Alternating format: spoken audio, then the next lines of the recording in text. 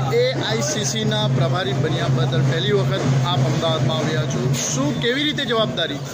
અત્યાર સુધી એનએસયુ અને યુવા કોંગ્રેસના કાર્યકર્તા તરીકે એરપોર્ટ ઉપર તમામ નેતાઓનું સ્વાગત થયું આજે પહેલી વાર સ્વાગત થયું મારું એટલે મને પણ ગમ્યું અને આ સમગ્ર જે કોંગ્રેસ પરિવાર છે કાર્યકર્તાઓએ એક હૃદયપૂર્વક સ્વાગત કર્યું જે રીતે all India Congress committee minority department દ્વારા દિલ્હીની રાજધાની એ મહત્ત્વનો પ્રદેશ દિલ્હી પ્રદેશનો મને જે જવાબદારી આપવામાં આવી છે એ હું ઈમાનદારીથી નિભાવીશ જે રીતે કોર્પોરેટર તરીકે જે રીતે એનએસયુના રાષ્ટ્રીય મહામંત્રી તરીકે ભૂતકાળમાં પણ પ્રશ્નો જે મેં ઉઠાયા છે હવે જે છ કમ્યુનિટીનો જે આ ડિપાર્ટમેન્ટ છે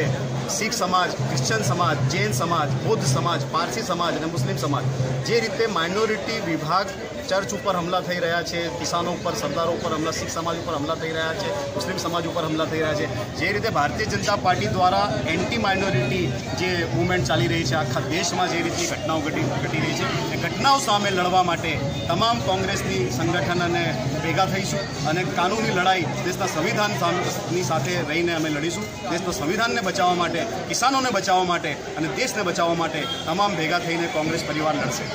બે હજાર બાવીસ ગુજરાતને કેવી રીતે જોશો